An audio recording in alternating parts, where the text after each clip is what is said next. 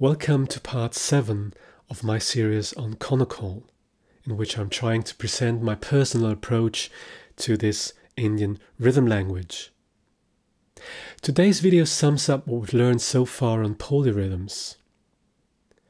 I'm going to give you step-by-step -step instructions how to create polyrhythms or your own polyrhythmic exercises and what's more, I'm going to give you a formula which enables you to play literally any number of notes over any number of beats.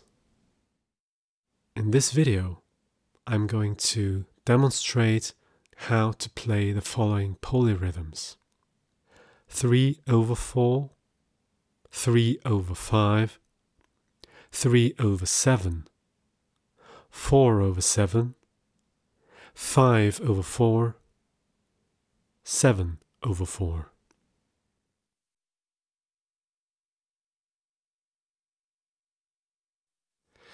If you want to play a certain number of notes, x, over a certain number of beats, y, you have to do the following. First, y represents your time signature, or meter. Set up your metronome with this time signature. Then X represents your floor of rhythm, your subdivisions, your rhythmic grid. You have to divide every beat into X parts. You do this by using the Konnakol word with X syllables. Let's say you want to play 3 over 4 three notes over four beats. So four is your time signature, the number of beats. Every measure has four beats. And three refers to your subdivisional grid. And the corresponding word in Konnakol for three notes is takite. So write down the word takite four times. This is your subdivisional grid. And now comes the most important step. You have to group these syllables into groups of four notes. So underline every fourth syllable starting with the first one.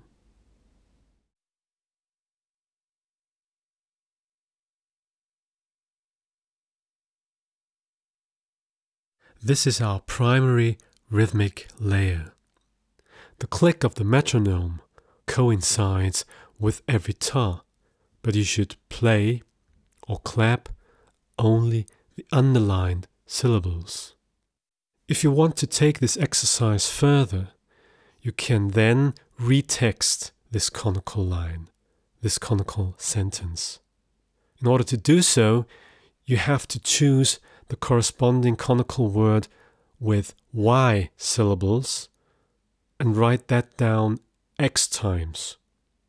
Now after retexting, you get a new line, a new Konnakol sentence. This is our secondary rhythmic layer.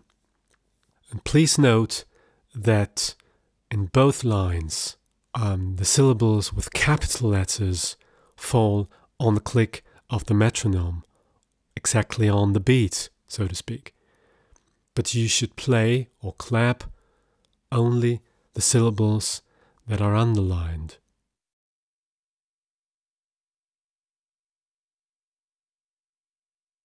One, two, three, four. Takite, takite, takite, takite, takite, takite, takite, takite, takite, takite, takite, takite, takite, takite, takite, takite, takatimi, takatimi, takatimi, takatimi, takatimi, takatim, takite, takite, takite, takite, takite, takite, takite, takite, ta.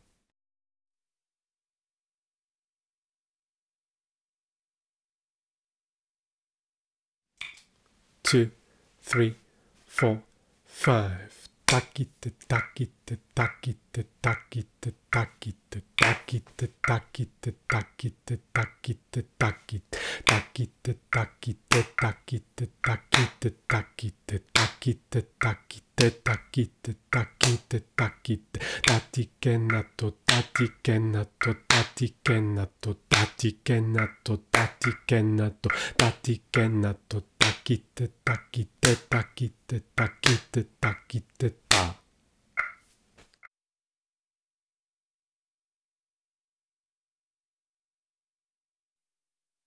One, two, three, four, five, six, seven.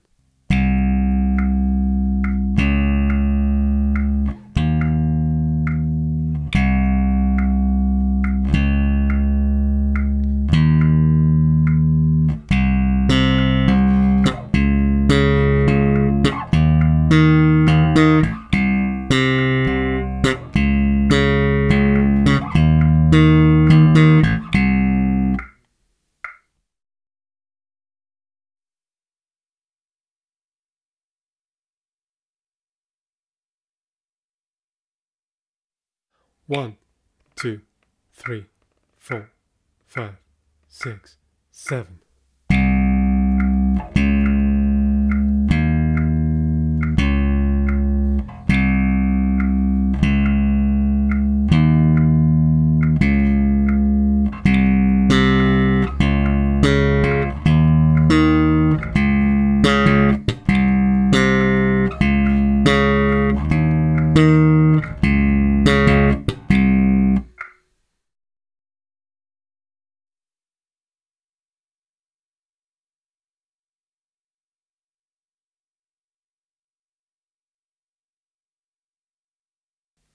One, two, three, four.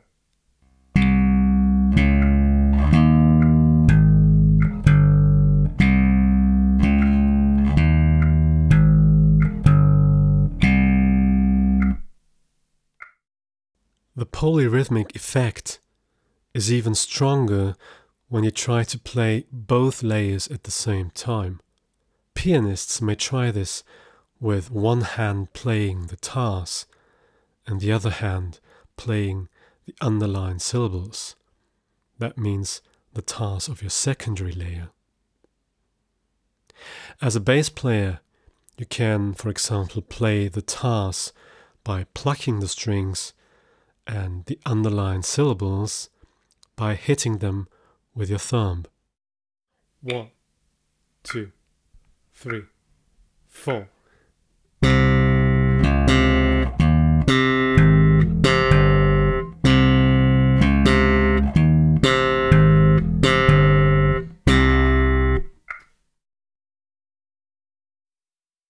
One, two, three, four.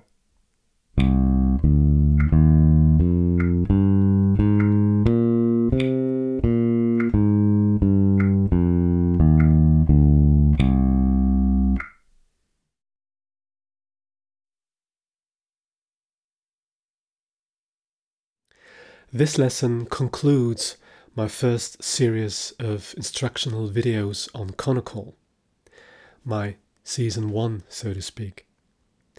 Season 2, with new videos, is coming soon. It'll open up a new chapter on rhythm, which I hope will also be very useful for you. So don't miss it. As always, if you enjoyed this video, please subscribe to my channel. All the best. See you next time.